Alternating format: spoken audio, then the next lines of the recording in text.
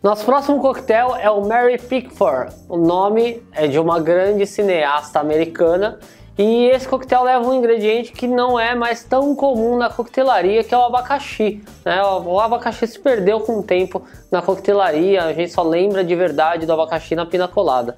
Então ele leva Havana 3 anos, a gente vai usar 60 ml, 45 ml de suco de abacaxi natural, fresquinho, 7 ml e meio de grenadine feita no seu bar de preferência, não industrializado, 5 ml de licor marasquino, muito gelo.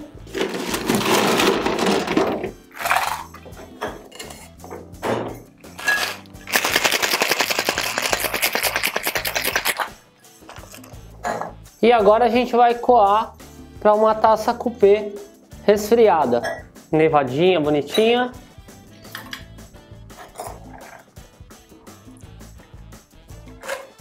Com o suco de abacaxi, quando fresco, feito na hora, é, ele forma aquela espuma mais grossa, você tem uma, uma demora maior para coar o, o drink.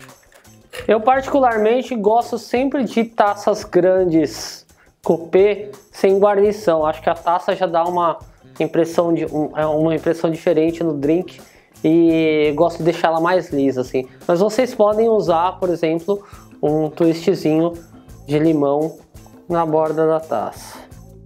E a gente tem um Mary Pickford.